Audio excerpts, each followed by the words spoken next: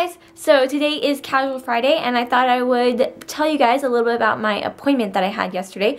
Um, as you guys may know, I've been trying to get this procedure done for ever and I'm trying to figure out, you know, all the logistics about my uterus and if I have a bicornuate, which I've been told for two years now, and, um, you know, if we can fix it and all of that. And so I finally had the procedure done yesterday and I have lots of good information to tell you guys about. So first of all, I had the, a procedure called the SIS done. It uh, stands for uh, saline infused sonogram. Basically what that means is they take um, a catheter and they insert it through my cervix into the uterus. They then in insert like a bulb and they push fluid into my uterus. Um, basically what it does is it almost can show like a small pregnancy in the uterus. So it blows up just enough so they can kind of get an outline of the full uterus. Um, basically this and an MRI um, is the only way to really get a good look to see exactly what's going on and, and what kind of uterus I have. I will say this procedure was not comfortable. It was extremely painful for me. Um, basically felt like extremely, extremely bad um, cramping, but it, it just, I don't know, it was really, really uncomfortable for me. It only lasts about 15 minutes, I would say.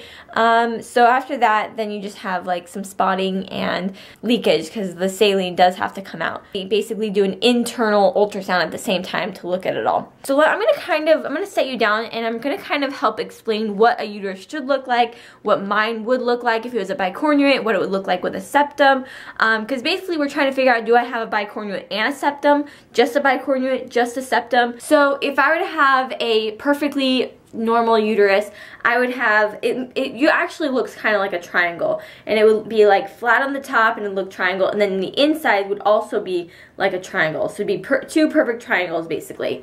Um, a bicornuate would have a curve on the top triangle, um, but then the inside would just be a perfect triangle. Um, so the basically you would just have the ears on the top, but the inside. So it's not a, a terrible. Now a septum would have the perfect outline, but the inside would have a septum going down this is not good. A septum can cause preterm labor. It can rupture.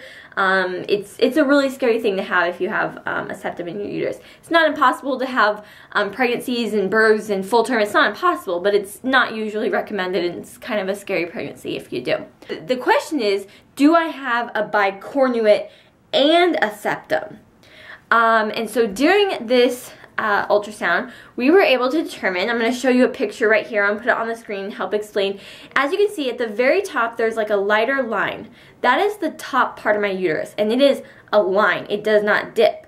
So I do not have a bicornuate uterus. The bicornuate would, that, that lighter line would actually dip down, but it goes completely around. So good news, it's not a bicornuate, but it's confusing because I've been told I have a bicornuate since the very beginning. But if you look a little closer, you can see where the darker um, circles are. Those That is my uterus. It is supposed to look also straight, but as you can see, there is a division right in the center of my uterus. It goes almost all the way down.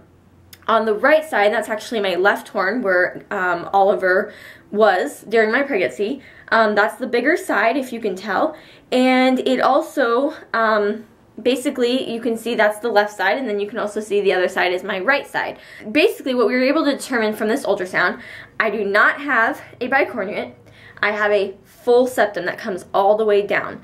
My placenta was on the right side of my um, uterus, and Oliver was on my left side. If a baby were to implant on the septum, it would be very difficult to keep that pregnancy alive. Basically, from what she tells me, is that it was basically a miracle that Oliver implanted on a good spot and was able to last. And I feel like from this information, I've been able to reach closure, um, determining that I think that my other pregnancies did not last because they implanted um, probably on the septum or on, on a place that could not sustain um, a pregnancy. The good thing about this information is that if I were to have a bicornuate and a septum, it would be very difficult to do surgery because when they start cutting at that septum, they could hit my uterus um, the bicornuate uterus part and it could nick it and then I would, ne would never be able to have babies. But because my uterus is not bicornuate, it's flat on the top,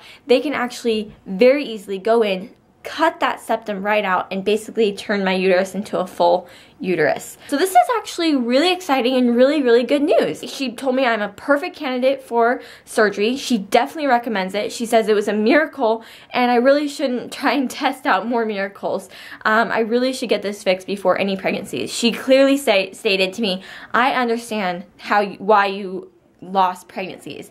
I don't understand how you kept one. Um, that's what she told me. I feel really confident that I need to get the um, surgery, and that's just what's gonna have to happen. So I'm gonna take this information back to my doctor. I'm hoping that he doesn't do any more hmm and hawing on whether we should do surgery or not, because as you guys may know, in his mind, he basically told me that, look, you have a baby. You, we know that you can give birth, so why would I do surgery? He still says that to me. I'm probably just gonna find a new doctor because I think that I feel really good about the fact that I need surgery and I don't want to risk any more pregnancies. I don't want another 20 week loss, um, especially if, if this is the reason why that happened. It's not great to have a septum, but I can fix it and that's the good news. I hope that I was able to explain that as clearly as possible. I will tell you a funny story though. This appointment, you are not allowed to be pregnant because as you know, we're putting saline into the uterus that would not probably be able to um, keep any kind of life alive if you're putting something into the uterus like that. So I felt very confident I wasn't pregnant at this ultrasound. She started going in there and doing stuff and she says to me, wait, who's that? And I was like, what? Like my heart dropped. I honestly was like, oh, finally an ultrasound that I can relax at because ultrasounds are really stressful for me. She basically goes on to tell me that she just calls bumps in the uterus he's like who's that he, he measure him or whatever because um, they do nothing but they wreak havoc. It's really stressful, but um, I guess there is a possibility that, that I might have some things in there and so during the, the surgery they can remove those. The surgery is outpatient. It's really simple. It's I mean obviously I do have to be put under and it's, and it's a surgery um, but it's outpatient. I'm not really too scared about it. It shouldn't hurt too badly so I just gotta just prepare myself and hopefully we can get this fixed soon so that I can give my body lots of time to recover until I get pregnant again. I hope you guys enjoyed this video. If you guys have questions, leave them in the comments. I will definitely try and answer any that I left out if I didn't explain it very well. Um, but like this video if you did, subscribe to my channel if you haven't already, and I'll see you guys in my next video. Bye! And then you're gonna suck from this end. Never blow, obviously that can hurt them, but you just suck. Um, really nice thing is that you cannot suck too hard.